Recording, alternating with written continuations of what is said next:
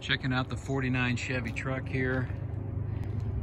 Do a walk around. It's kind of my shake, rattle, and roll project truck. A lot of work done to this truck. It's sitting on a Nova subframe, 350 engine, 350 transmission. Wood floor there. The nice old school Cragars on it. It's kind of a two-tone rat rod style paint job on it. Compliments in this thing every time I've been out in it. I call it a project, still needs some work to be done on it. I mean, it's it's got the seat already done. Kind of the interior looks nice, but the floors do have some rust through. On a rat rod, this is fine. You know, uh, the gas tank behind the seat needs to be secured. I was gonna move that tank fuel cell under the bed. The bed can be moved down if you put some wheel tubs in there. A lot of guys like the beds down further to actually use the truck and this doesn't bother me at all, but the bed would, would easily come down with some wheel tubs on there. The tires could be replaced. I mean, they got decent tread, but they're, I would consider them rollers. I mean, I drive this thing around a little bit, but not, I don't get it out on the highway or anything.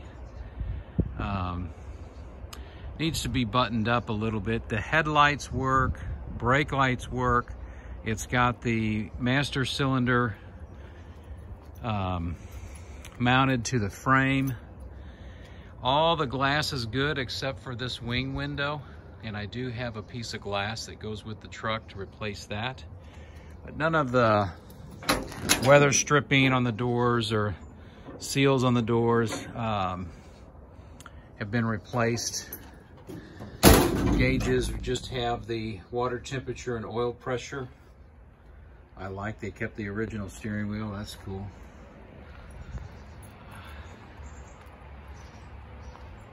But a really, really good start to this truck.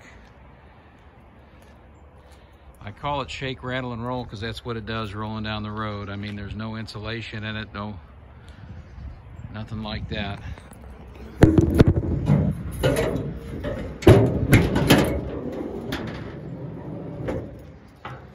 The hood does come up with some effort. Push in and as you're pushing it up. The engine bay, new radiator.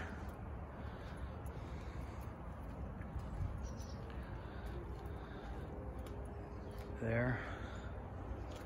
Really good looking truck, sitting right. Fun truck, it's not far away. I mean, I've been just driving around short distances. I haven't been going very far with it. I think it needs the new tires, maybe an alignment, you know. That's a cold start basically there. Just pulled it out of the garage to get the videos. A bit of oil pressure.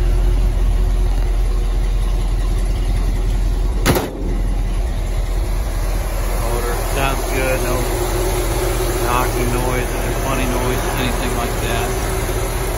The truck runs down the road real good. take somebody much to get this thing buttoned up and make a daily driver out it.